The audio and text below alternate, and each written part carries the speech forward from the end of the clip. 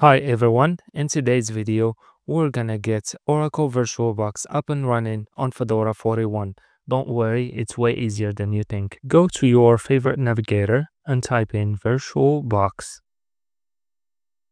Click on the first page that will pop up and click on the download button. This will take you to choose which kind of system you have. We have a Linux based system, so we're gonna choose Linux distributions. Here you can find all the Linux distribution that VirtualBox supports. We are interested in Fedora. I myself have Fedora 40 slash 41. I'm gonna select that, click on it, and this will give me a pop-up to choose the location where I want to put the file. I'm gonna hit save and I'm gonna wait for it until it ends downloading. Okay, after it finishes downloading, we're gonna open the location where it has been installed. Gonna right click and open up terminal. Now we're gonna type in the ls command to say what type, what kind of folders we have. So we have an executable.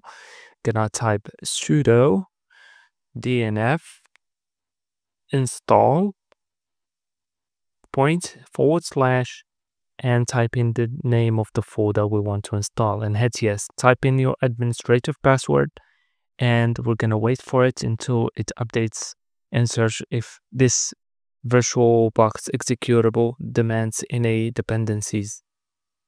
And it does require some dependencies to be installed. As you can see here, we have around four or three dependencies type in Y and hit enter.